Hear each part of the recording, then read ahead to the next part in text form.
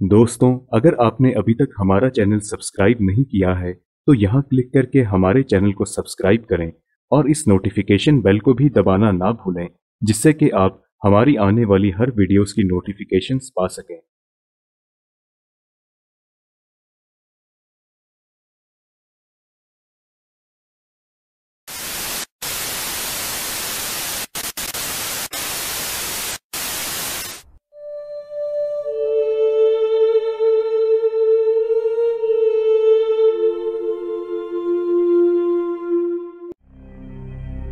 अगर आप एडवेंचर और ट्रैकिंग के शौकीन हैं तो उत्तराखंड में स्थित रूपकुंड झील आपके लिए एक बेहतरीन जगह है। यह झील हिमालय के ग्लेशियर्स के गर्मियों में पिघलने से उत्तराखंड के पहाड़ियों में बनने वाली छोटी सी झील है। यह झील पाँच हज़ार उनतीस मीटर की ऊंचाई पर स्थित है, जिसके चारों ओर ऊँचे ऊँचे बर्फ़ के ग्लेशियर्स हैं। यहाँ तक पहुँचने का रास्ता बेहद दुर्गम है, इसलिए यह जगह एडवेंचर ट्रैकिंग करने वाले लोगों की पसंदीदा जगह है। ये झील यहाँ पर मिलने वाले नरकंकालों के कारण काफ़ी चर्चे में है। यहाँ पर गर्मियों में बर्फ़ पिघलने के साथ ही कहीं पर भी नरकंकाल दिखाई देना आम बात है। यहाँ तक कि झील के अंदर देखने पर तलहटी में भी नरकंकाल पड़े दिखाई देते हैं। यहाँ पर सबसे पहला नरकंकाल साल 1942 में एक रेंजर एच के मधवल द्वारा खोजा गया था। तब से लेकर आज तक यहाँ पर सैकड़ों नरकंकाल मिल चुके हैं। यहाँ पर नेशनल ज्योग्राफिक टीम द्वारा भी एक अभियान चलाया गया था, जिसमें उन्हें 30 से ज़्यादा नरकंकाल मिले थे। यहाँ पर इतने सारे नरकंकाल कैसे आए, इसके बारे में तीन अलग अलग कहानियाँ प्रचलित हैं। 1942 में हुए एक रिसर्च से यहाँ मिलने वाली हड्डियों के रहस्य पर थोड़ी रोशनी डाली जा सकती है। रिसर्च के अनुसार ट्रैकर्स का एक ग्रुप यहाँ बर्फ़ गिरने के कारण फंस गया था, जिसमें सभी की दर्दनाक मौत हो गई। हड्डियों के एक्सरे और बाकी टेस्ट से पाया गया कि हड्डियों में दरारें पड़ी हुई थी, जिससे पता चलता है कि गिरने वाले ओलों का साइज़ कम से कम क्रिकेट के बॉल जितना रहा होगा। वहाँ कम से कम 35 किलोमीटर तक कोई काम नहीं था और सिर छुपाने की भी कोई जगह नहीं थी। आंकड़ों के आधार पर माना जा सकता है कि यह घटना 850 ईस्वी के आसपास की रही होगी। एक और किवदंती के मुताबिक, तिब्बत में 1841 में हुए युद्ध के दौरान सैनिकों का एक समूह इस मुश्किल रास्ते से गुजर रहा था, लेकिन वो रास्ता भटक गए और कहीं खो गए और बाद में कभी नहीं मिले।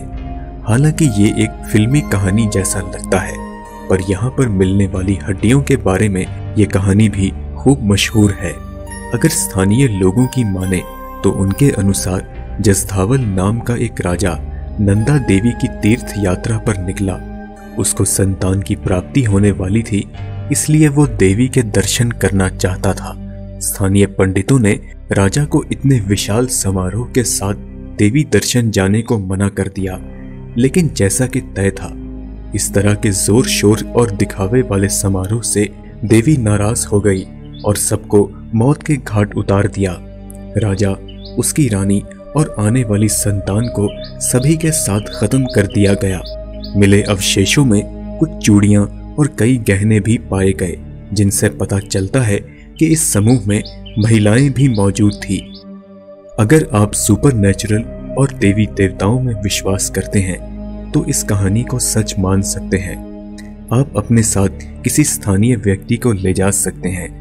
और रात के समय ये कहानी उससे सुन सकते हैं और आपके रोंगटे ज़रूर खड़े हो जाएँगे।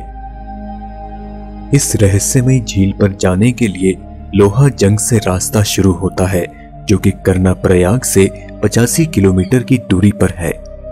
काठगोदाम स्टेशन से लोहा जंग के लिए आप टैक्सी ले सकते हैं। अगर आप ऋषिकेश से आ रहे हैं तो वहाँ से करना प्रयाग तक बस ले सकते हैं। करना प्रयाग से चार पाँच घंटे में आप लोहा जंग पहुँच जाएँगे।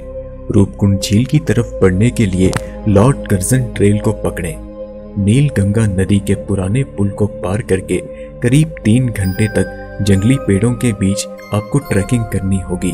आप जल्द ही एक वाटरफॉल के पास आ जाएँगे। आगे चलते जाएँगे तो राउंड बगात पहुंचकर आपको डिडीना की चढ़ाई करनी होगी। पास के गाँव को फॉलो करते रहें और दो घंटे में आप एक आसान जगह पहुँच जाएँगे, जहाँ पर आप आराम कर सकते हैं। अब आपकी अगली यात्रा डिडीना से बेदनी बुग्याल की होगी। अली की तरफ़ से जाने वाला रास्ता छोटा है, मगर थोड़ी खड़ी चढ़ाई वाला है। यहाँ से बुग्याल पहुँचने में आपको करीब तीन घंटे लगेंगे। एक दूसरा रास्ता टोकलानी की तरफ़ से भी जाता है, पर वह काफ़ी लंबा है। यहाँ आप एक रात गुजार सकते हैं और अगली सुबह स्नो को फॉलो करते हुए चल पड़े। जल्दी निकलने से आप भगवा बासा जल्दी पहुँच जाएँगे, जहाँ पर आप थोड़ा आराम कर सकते हैं। लोटानी से कालू विनायक की तरफ़ चार घंटे की चढ़ाई के बाद आप गणेश मंदिर पहुँच जाएँगे, जहाँ पर आपके पास यहाँ रुकने का ऑप्शन भी है। या तो आप भगवा पासा में ठहर जाएँ या हुनिया थल पर कैंप लगा लें। यहाँ रातें काफ़ी ठंडी होती हैं। सुबह पाँच बजे आप रूपकुंड झील के अंतिम पड़ाव की ओर निकल पड़े। बर्फ़ पिघलने से पहले आप चलना शुरू हो जाएँ। बर्फ़ काटने के लिए साथ में आप कुल्हाड़ी भी लेते जाएँ। झील का पहला नज़ारा आपको ज़रूर खुश कर देगा। ये एक नीले रंग का बर्फीले शीशे जैसा दिखता है। लेकिन बर्फ़ जमी होने पर भी इस पर चलने की गलती मत करें।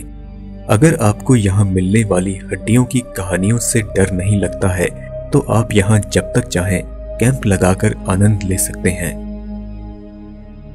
दोस्तों, आप मुझे इंस्टाग्राम पर फॉलो कर सकते हैं, जहाँ पर आप मुझे पर्सनली मैसेज भी कर सकते हैं। साथ ही साथ, आप हमारी website mysterious nights India dot blogspot dot com पर विज़िट भी कर सकते हैं।